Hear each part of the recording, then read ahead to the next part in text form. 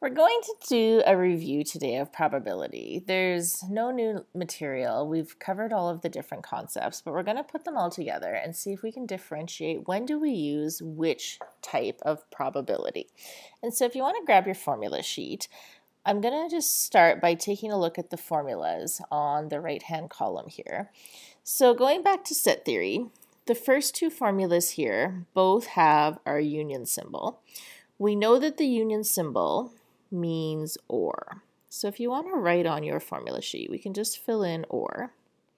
If we're dealing with two or more events, the word or indicates they're going to be mutually exclusive or non-mutually exclusive.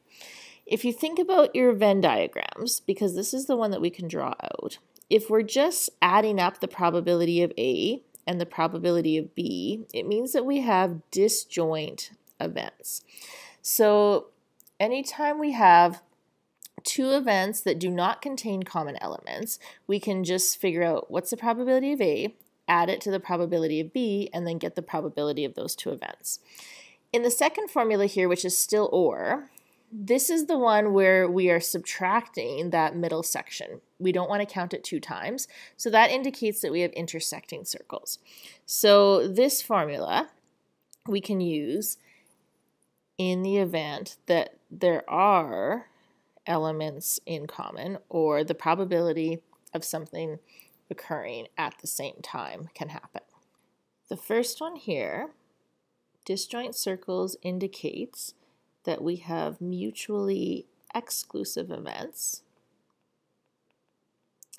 Intersecting circles indicates that we have non-mutually exclusive events.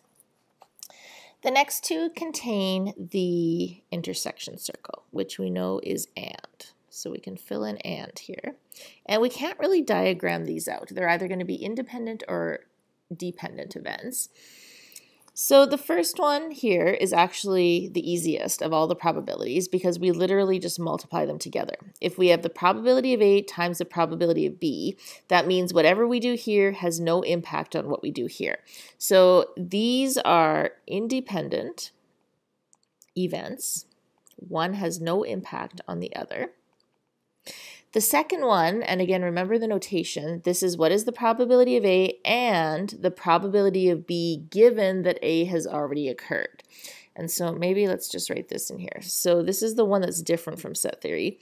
So probability of B given that A has already occurred.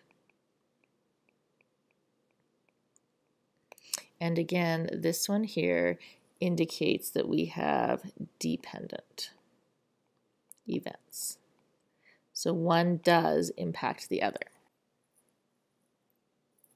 I adjusted my screen so you can see it uh, more clearly. So what we're going to do today is we're going to do a review sheet and it's a little bit tricky because this is one that we normally do together and work through together. So we're going to try something. I'm going to upload it and you can either just, you don't have to print it out. You can just do it on a piece of paper, just label kind of left side one, right side one. We normally do it as a group activity, which is why it's set up like that. And I think most of you are now on Google Hangout. And so if you need help with a question, um, I'm going to get you to try to post it to that forum. And then if you think you have an answer to it, you can actually diagram it out and then take a picture and upload it. So we're going to kind of work through it that way and see how that works. This is kind of a work in progress. We're going to adjust things as we go. One thing to keep in mind is it is a learning tool and everything you put, even if it's deleted, is recorded. There is a permanent history that's kept with the school district. So just be mindful of that when you're posting. Make sure that your comments are professional and appropriate. And we're going to try that today just to see if we can do a virtual group type activity.